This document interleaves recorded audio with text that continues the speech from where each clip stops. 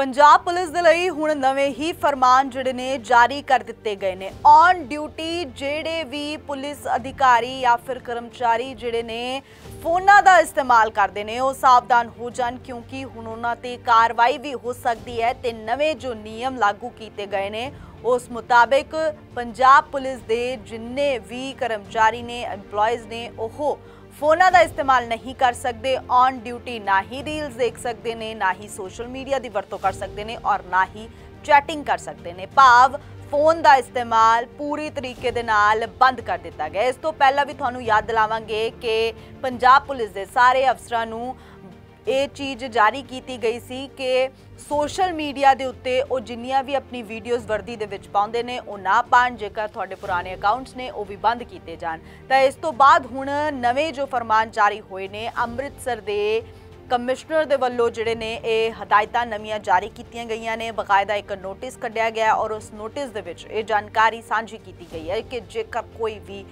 Officer Punjab police ਦਾ on duty ਅਗਰ reels ਜਾਂ ਫਿਰ ਸੋਸ਼ਲ ਮੀਡੀਆ ਦੀ ਵਰਤੋਂ ਕਰਦਾ ਹੋਇਆ, ਦਿਖਦਾ ਜਾਂ ਫਿਰ ਚੈਟਿੰਗ ਕਰਦਾ ਹੋਇਆ ਪਾਇਆ ਜਾਂਦਾ ਹੈ, ਤਾਂ ਉਸ ਉੱਤੇ ਕਾਰਵਾਈ ਕੀਤੀ ਜਾਵੇਗੀ। ਇਸ ਲਈ no reels no social media ਇਹ ਗੱਲ ਜਿਹੜੀ ਹੈ, ਇਸ ਪੱਤਰ ਦੇ ਵਿੱਚ ਉਕੇਰੀ ਗਈ ਹੈ, ਕਿਉਂਕਿ ਪੰਜਾਬ ਪੁਲਿਸ ਦੇ ਮੁਲਾਜ਼ਮਾਂ ਦੇ ਲਈ ਇਹ ਨਵਾਂ ਫਰਮਾਨ ਜਾਰੀ ਕਰ ਦਿੱਤਾ ਗਿਆ ਤਾਂ ਮੁਲਾਜ਼ਮ ਹੁਣ ਡਿਊਟੀ ਦੇ ਦੌਰਾਨ ਸਮਾਰਟਫੋਨ ਸੋਸ਼ਲ ਮੀਡੀਆ ਦੀ ਵਰਤੋਂ ਨਹੀਂ ਕਰ ਸਕਦੇ ਔਰ ਅਜਿਹਾ ਕਰਦੇ ਹੋਏ ਜੇਕਰ ਉਹ ਪਾਏ ਜਾਂਦੇ ਨੇ ਤਾਂ ਉਹਨਾਂ ਦੇ ਖਿਲਾਫ ਸਖਤ ਕਾਨੂੰਨੀ ਕਾਰਵਾਈ ਕੀਤੀ ਜਾਏਗੀ।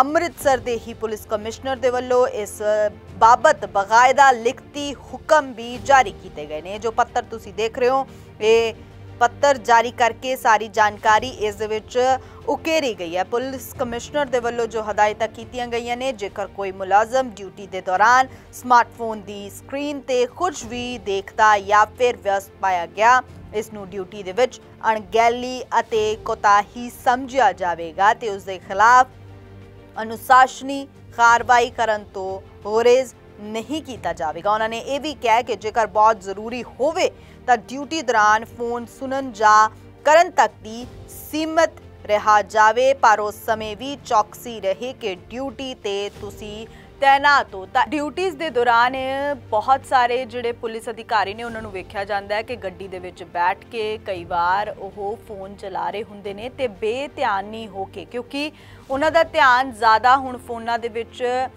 ਜਿਹੜਾ ਉਹ ਮਸ਼ਰੂਫ ਰਹਿਣ ਲੱਗ ਗਿਆ ਸੀ, ਇਹਦੇ ਕਰਕੇ ਡਿਊਟੀ ਸਹੀ ਤਰੀਕੇ ਦੇ ਨਾਲ ਨਹੀਂ ਸੀ ਕੀਤੀ ਜਾ ਰਹੀ। ਇਸ ਕਰਕੇ ਇਹ ਕਦਮ ਚੱਕਣਾ ਬੇਹੱਦ ਲਾਜ਼ਮੀ ਵੀ ਕਿਤੇ ਨਾ ਕਿਤੇ ਬਣਦਾ ਸੀ। ਤਾਂ ਅੰਮ੍ਰਿਤਸਰ ਦੇ ਪੁਲਿਸ ਕਮਿਸ਼ਨਰ ਦੇ ਵੱਲੋਂ ਇਹ ਪਹਿਲ ਕਦਮੀ ਕੀਤੀ ਗਈ ਹੈ। ਹੁਣ ਦੇਖਣਾ ਇਹ ਹੋਵੇਗਾ ਕਿ ਬਾਕੀ ਹਲਕਿਆਂ ਦੇ ਵਿੱਚ ਵੀ ਕੀ ਇਸੇ ਤਰੀਕੇ ਦੇ ਨਾਲ ਜਿਹੜੇ ਰੂਲ ਰੈਗੂਲੇਸ਼ਨਸ ਨੇ, ਇਹੀ ਲਾਗੂ ਹੁੰਦੇ ਨੇ, ਕਿਉਂਕਿ ਇਹ ਬਹੁਤ ਜ਼ਰੂਰੀ ਸੀਗਾ। ਬਹੁਤ ਸਾਰੇ ਅਧਿਕਾਰੀਆਂ ਨੂੰ ਪੁਲਿਸ ਮੁਲਾਜ਼ਮਾਂ ਨੂੰ ਤੁਸੀਂ ਵੇਖਦੇ ਹੋਵੋਗੇ, ਉਹ ਸੋਸ਼ਲ ਮੀਡੀਆ ਦੀ ਵਰਤੋਂ ਕਰਦੇ ਨੇ ਰੀਲਸ ਬਣਾ ਕੇ ਪਾਉਂਦੇ ਨੇ ਆਪਣੀ ਵਰਦੀ ਦੇ ਵਿੱਚ ਜਿਹੜਾ ਫੋਟੋਜ਼ ਖਿੱਚ ਕੇ ਪਾਉਂਦੇ ਨੇ। ਹਾਲਾਂਕਿ ਔਨ ਡਿਊਟੀ ਕਰਨਾ ਇਹ ਚੀਜ਼ਾਂ ਗਲਤ ਨੇ ਆਫ ਡਿਊਟੀ ਜਦੋਂ ਤੁਸੀਂ ਹੋ ਜਾਂਦੇ ਹੋ, ਉਦੋਂ ਫਿਰ ਵੀ ਇਹ ਚੀਜ਼ਾਂ ਜਿਹੜੀਆਂ ਨੇ ਕਰਨੀਆਂ ਸ਼ੋਭਿਤ ਬਣਦੀਆਂ ਨੇ। ਪਰ ਜਦੋਂ ਤੁਸੀਂ ਡਿਊਟੀ ਨਿਭਾ ਰਹੇ ਹੋ ਤਾਂ ਉਸ ਦੌਰਾਨ ਪੂਰਾ ਧਿਆਨ ਤੁਹਾਡਾ ਡਿਊਟੀ ਦੇ ਵਿੱਚ ਹੋਣਾ ਚਾਹੀਦਾ ਤਾਂ ਇਹ ਚੀਜ਼ਾਂ ਜਿਹੜੀਆਂ ਨੇ ਸਾਫ਼ ਤੌਰ ਉੱਤੇ ਕਮਿਸ਼ਨਰ ਜੀ ਦੇ ਵੱਲੋਂ ਜਿਹੜੀਆਂ ਨੇ ਕਹੀਆਂ ਗਈਆਂ ਨੇ ਤੇ ਇਹ ਨੋਟਿਸ ਵੀ ਜਾਰੀ ਕੀਤਾ ਗਿਆ।